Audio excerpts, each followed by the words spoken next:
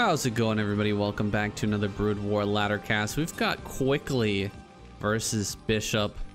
These are two players that I know a lot of you guys are excited about, myself included. I am becoming a very big Quickly fan. I watched a lot of his games recently on the ladder and uh, casted a lot of his games. So um, he's somebody that I'm looking forward to seeing in the ASL. I just watched the qualifiers, so I won't spoil for you whether he gets in or not. But I watched it on stream on Twitch, so if you guys want to check that out, I made the VODs public. Uh, if I remember, I will throw a link down in the description. And you guys can go check that out. I've been wondering what to do about uh, making content for the qualifier for the ASL slash SSL qualifier, and I, I think that's a pretty good mi mixture, I guess, or medium, happy medium, to do a little Twitch stream, just kind of casually watch through, uh, hang out with you guys in the chat, have a little conversation, and then make a highlights video where I just talk about the results and just a few tidbits of information about you know kind of what happened. The big um the big points to the opening part of the season. I think that's a good way to do it and i'm gonna release that highlights video here pretty soon sometime this week i imagine. Put aside some time to put that together uh, with the content that i've got recorded and with the videos uh, themselves. So if you're not interested in watching that, I think it's like 10 hours long.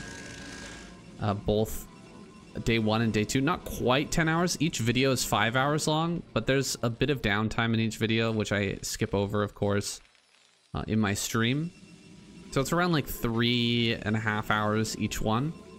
But if you don't have, you know, six to seven hours to burn just watching the qualifiers that might be for you. That uh, highlight video might be uh, what you're looking forward to. Now, quickly here, as cross map position versus Bishop. Bishop's actually opened up more greedily though. You can see he's putting the bunker out very far forward. He's trying to make it look like maybe he's like I don't I don't know why else he would want to put the bunker out here aside from he wants to make it look like maybe he's going for uh, a two factory play behind this. And just kind of fake out quickly potentially uh, when he comes over here to think that this um, this could be some sort of you know no command center build but it's definitely a very fast command center. Excuse me We've just got the gas online now. Factory's coming up here on the high ground, so this is nothing too crazy out of Bishop, but he is kind of disguising what he's doing a little bit. You see the probe can't run by here. He'll have to come in, I think, with the Dragoon. Run pretty far by just to get the information uh, that it's actually a CC. And if he doesn't do that, uh, he might kind of misread the present situation. We have a Citadel on the way. Looks like we're going to be going into DT after this. Kind of basic opener from Quickly. He's going to very soon mix it up with that DT play. See, okay, he does get a robotics facility as well. Robotics and Templar at the same time. This is all lining up for a nice DT drop timing. We should have a second gateway. There it is and double factory engineering bay. I really do feel like Bishop should be able to handle this no problem. As long as he does what he's supposed to. Get some turrets up, you know, turret here. Maybe a turret over here. Possible turret there. Another one over here and one down by the uh, supply depots over in this area. He should be fine. Now it's going to be up to his execution and how quickly winds up getting in here. He's just taking his little tax here at the front. That was pretty funny. There was a comment recently. I was saying that this is the Protoss tax, and someone was saying, "Oh, it just takes." He doesn't actually. Nobody actually gets the money from him. Uh, you know, repairing the bunker, so it's not really a tax. And somebody else said um, in the comments that that's exactly how taxes work. that the money just goes directly to waste. So I thought that was pretty hilarious. We have the... Oh, oh my gosh. Is he going after that tank? Oh, God. I never expected that. I was actually going to take a look at when the DTs were going to be coming out. We do have a third base on the way as well. Possibly an Arbiter transition from here. That is the standard way to play. Off of a DT opener. Go into Arbiters because you know there's not going to be too many scans. And traditionally in this matchup, Terran players are not going to get a really quick vessel. So they're going to be relying on scans for the most part to try and push back the DTs. And then they probably will run out if they're going to push early, run out of scans. And then the Arbiters can help clean up everything. Two DTs coming into the main. Bishop has not done what he's supposed to. What I mentioned earlier in getting these missile turrets up. He has one in the natural and none in the main. Oh, this is gonna hurt. This is gonna hurt bad. There's a turret starting. And the DTs will go to work. What was he expecting, honestly? Like, this could have been a, a Reaver play, and it would have done almost as much damage. The main base keep being completely open. No tanks in here. He's just going to go straight across the map with the, all of his tanks. Okay, well, how does that work out? Um, if a DT is made back at home, I think you still just lose everything. I'm going to go after this tank, doing quite a bit of damage. My god, DTs do so much DPS. It is insane. This guy's already got a ton of kills. Nine kills right there. There's the DT popping out. Gonna be dealing some damage. He's gonna try and... I don't know what this is. Kite, I guess? And just focus down the Nexus? This tank is just about to die. He does manage to kite that. He kills the Nexus and just goes home. Well, that is interesting.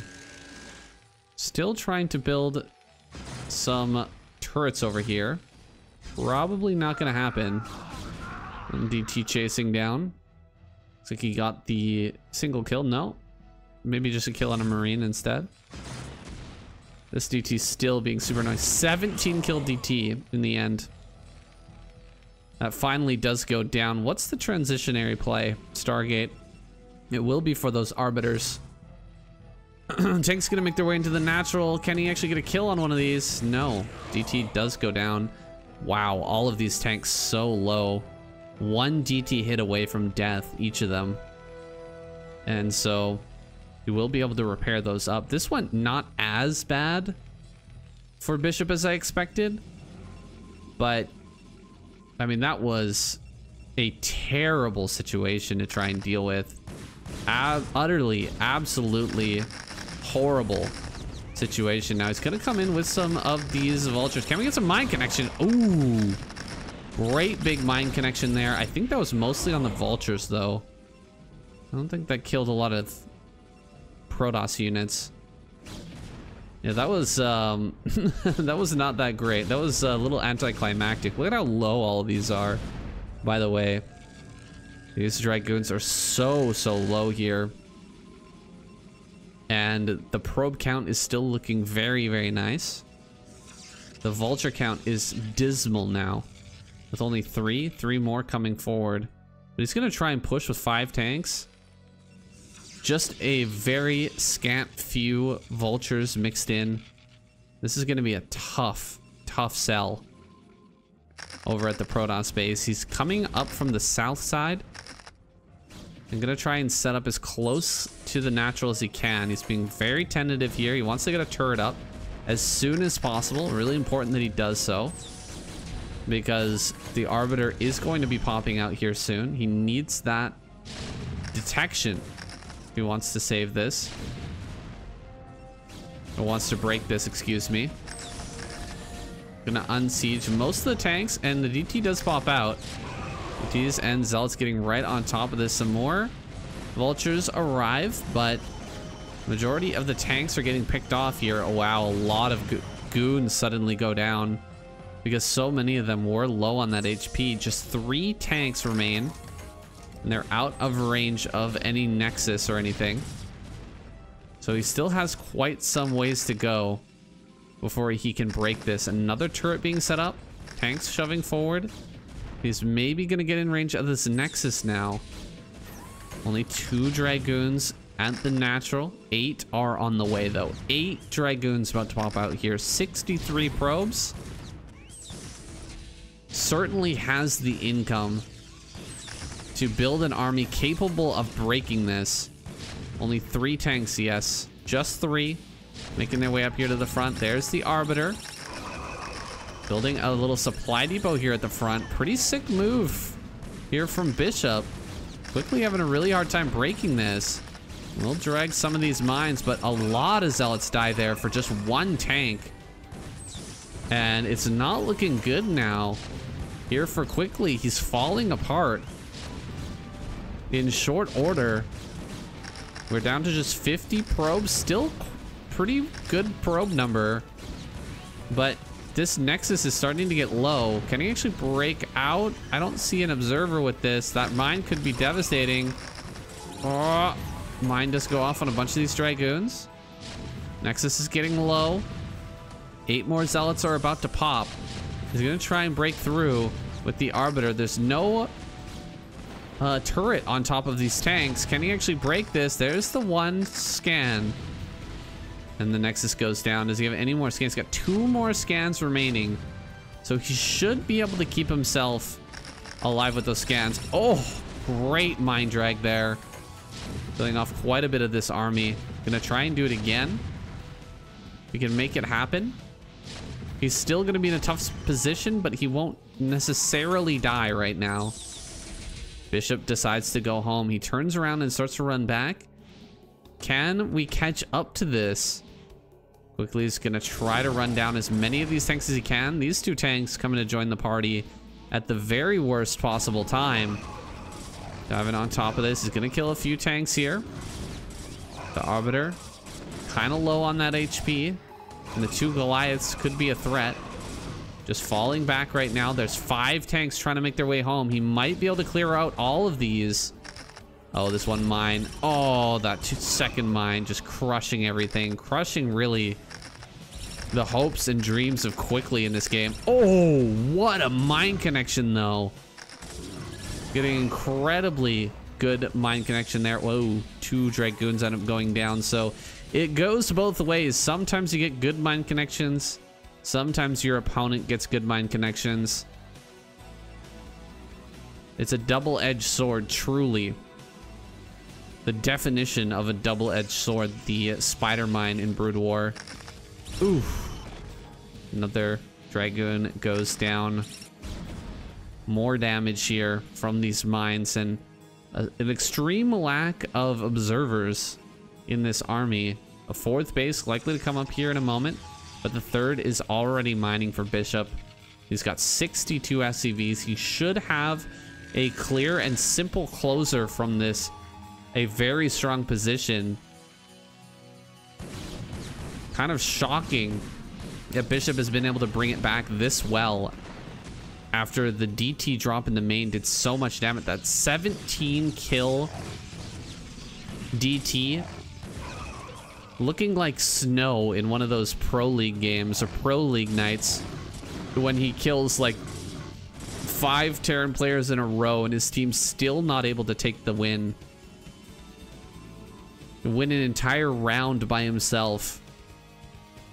And he's just not got the backpack necessary to carry the team to the victory that DT back broken in the next life. Looking down here on this Protoss player, wondering what went wrong. How come we're not able to win this fight after he did so much work? It's just not fair. Arbiter over here at the bottom center. Maybe thinking about going in for a recall. Doesn't have the energy to do so. There's a lot of missile turrets here ready to counter that as well. We've got double upgrades on the way. We're about to hit 2-2 here in another couple of moments. As quickly looks for ways to deal damage.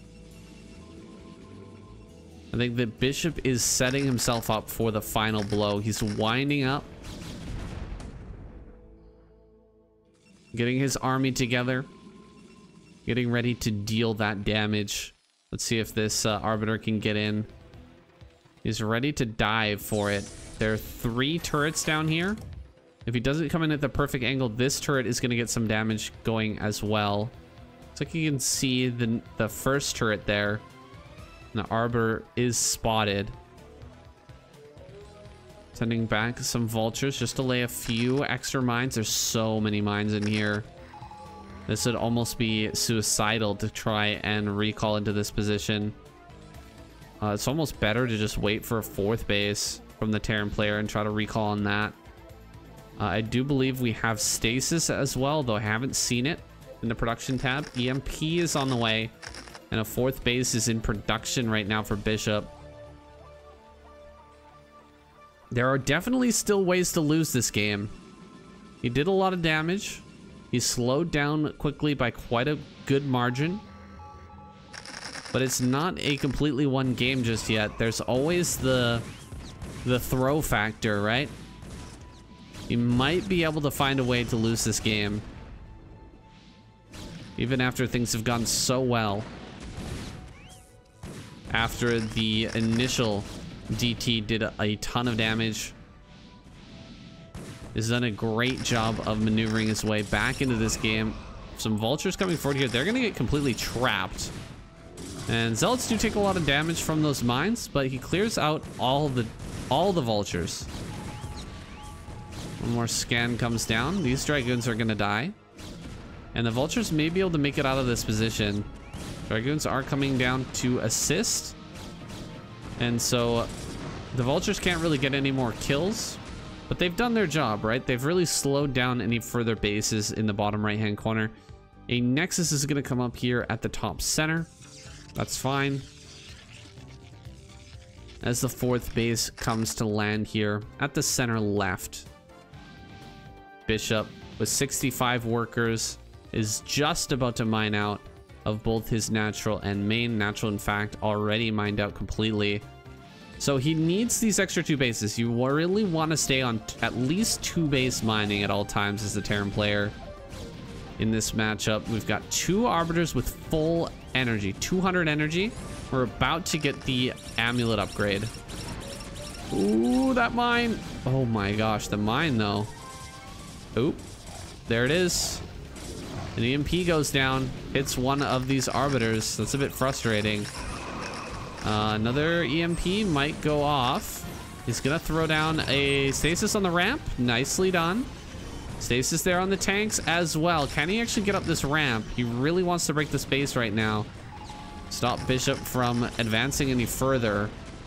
No observer with this army, unfortunately. That, uh, oh my god, that Arbiter. Just about getting picked off there. Gonna run forward, start to deal with some of these pesky Goliaths. The tank gets picked off as well. He does make his way up on the high ground, quickly doing a good job here. Slowing down this base by a good margin. Getting a, a bit of a supply lead as well. Wow, so many SCVs are going down right now. Dropping down to 45. He was above 60 not too long ago. Tanks on the high ground gonna receive the blessing of the D-Matrix. Another EMP is just about ready here, but this doesn't have any energy on it. Another EMP does go down, but he just kind of wasted that EMP. We should have more Arbiters out by now. Yeah, look at this. Arbiters with full energy are available. And there's really no more EMP to, to uh, deal with those. So definitely a bit of a mistake there. He could hit this with a big recall right now. It would be massive. Quickly has a, a real opportunity to actually shut down Bishop and bring himself into a winning position here if he just brings through an Arbiter and hits this base right now. We don't have any energy for EMP. I'm not sure if he's aware of that fact, though. There's that 250 energy Arbiter making its way over here towards the center left. Let's see if he can get this recall off. Shutting down this outlying base will put Bishop onto one base mining. Okay, or he could maybe recall on top of that. I don't know. Bunch of zealots on top of here? Is that what he's going for? All right, he sees the Goliath and decides to bail out of this situation. Interesting choice there. Quickly setting up another rally point in the bottom right-hand corner. As a very decently sized army. 199 supply. I don't know how quickly he's brought this back, aside from just that one little play here with the stasis on the ramp. I mean, I guess that's what really brought him to a winning position here. But he is definitely in the lead. 200 supply against 140. You can absolutely just run over a Terran player in those situations. He's going to throw down an EMP, but he's got two more very high energy arbiters to come through. And my god, they are they going to get spells. Spells for days here. He could even put down another stasis, although it might actually block him um, from dealing the damage that he wants to deal. There's another nice stasis. Zealots are going to be kind of blocked by that. There's only two tanks in the background now. And Dragoons coming from the north and from this high ground are going to clear this up. Deal with this command center. Push it back. More units, reinforcements coming out here. The drop over in the top center actually dealing a lot of damage. Gonna get an Arbiter up there to help deal with that in just a moment. Quite a few SCVs have gone down. The stasis are starting to run out. Doesn't really have the muscle to stay and fight these tanks as they unthaw, or as they thaw, excuse me. But GG is called. That's enough for Bishop. The damage has been done. Surprising back and forth here between these two. Bishop and Quickly seem to be very evenly matched. It felt as though Quickly was definitely going to win that game for a moment after the DT drop. Then it felt like our Terran player was going to be able to win that game. And then it was like, no, he never really could have won that game. Quickly just dominated in that final attack. I guess it's all down to this play over here. This was such a good move by Quickly to put the ramp or put the stasis on the ramp there and just make it impossible to reinforce. And Bishop didn't want to vacate that base. He could have floated away and just maybe gone down to six o'clock or something. But he really wanted to fight over that, and he took multiple bad trades. Ended up kind of losing his advantage that he gleaned from that good attack that he had here over in towards the natural, where he killed the, the Nexus and really slowed down quickly. Yeah, a lot of that advantage was just lost during that moment. Those few moments of taking the uh, fourth base but this is a really good game to learn from, guys. If you are struggling with Protoss and Terran, you can see that even from a bad position from behind, if you make the right moves, you can absolutely bring yourself back into a winning spot. Both these players proved it multiple times in this series, especially quickly. But guys, this is it for our games today. Definitely go check out the stream where I watched the qualifiers for the SSL. If you haven't already, I'll put that link down below. Thank you guys again for checking out this video. Make sure to subscribe and I'll see you in the next one.